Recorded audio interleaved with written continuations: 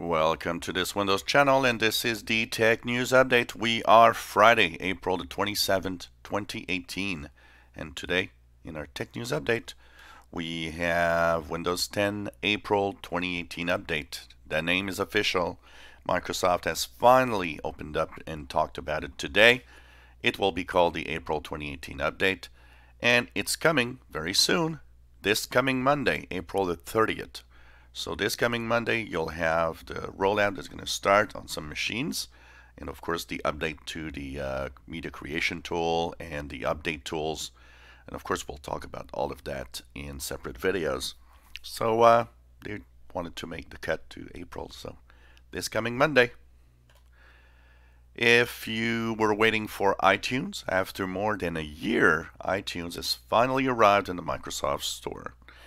It is the same exact version that you have if you have the desktop version because it's simply taking the um, bridge to port desktop apps to the Microsoft Store. So basically it's the same thing except that it downloads from the store and installs from the store.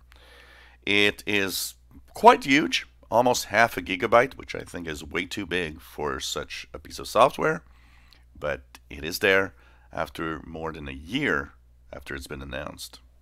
And it's a, big milestone for Windows 10.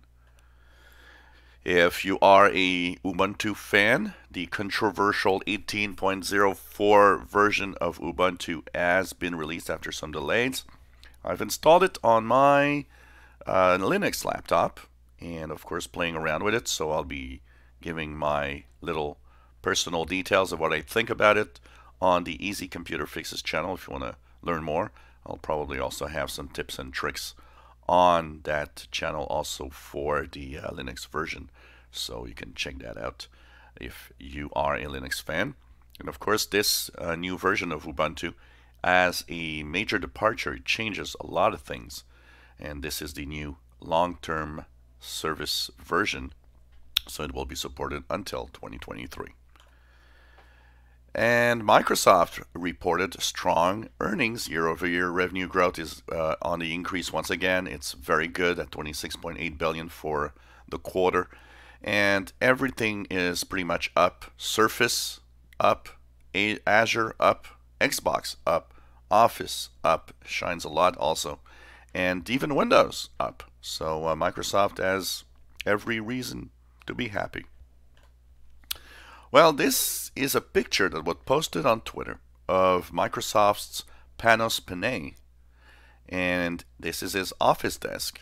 Now, it has the internet fired up all over the blur on the right side of the screen, where people are saying, what is that? Could it be a new Windows Phone? Well, we know one thing about Panos Panay. As we are getting into build soon, Panos Panay has always posted these pictures of teasers of what could be coming to the uh, you know new devices. And well we'll see what's going to happen and we'll maybe know what behind what's behind that blur on this picture as we'll know more at build coming up in just a little over a week from now. Well if you are a fan of the airport routers from Apple say goodbye. They are discontinued, and Apple says they're not going to make any more Airport, Airport, Airport Extremes, and Time Capsules. They're going to be discontinued. There's still some available, so you can buy some if you need one, but it's going away. Apple does say it's not necessarily totally over for routers, but for now, uh, yes. But if they do find a way to actually bring back routers in another way, they'll bring them back. Well, a new report says that we have to stop thinking of what happened and we gotta really do something and everyone should be concerned about the Russian invasion of Internet of Thing devices that basically they're hacking into and that will at some point create havoc that will create uh, problems in the near future to the internet and even utility companies.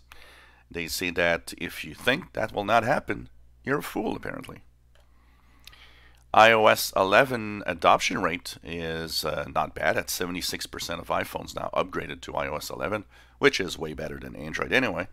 But it does show that the number, even if it looks good on paper, is less than the adoption rate of iOS 10 for the same time. and uh, Apple might be or should be worried a little bit.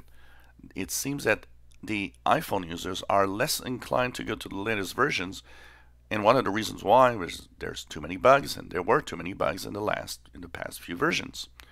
So uh, that's kind of an interesting uh, look on it, and you know shows that Apple isn't all beautiful and nice.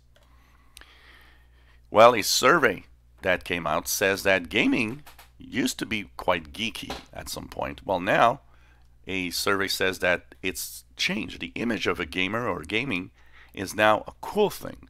It's now cool to be gaming. It's now cool to be a gamer, and working in a gaming environment is really, really cool. And that is a big change in the way people uh, see gamers, as, of course, gamers were for a long time very geeky persons.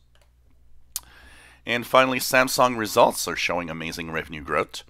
Uh, the chip side, because Samsung does make a lot of chips for devices around the world, is amazing.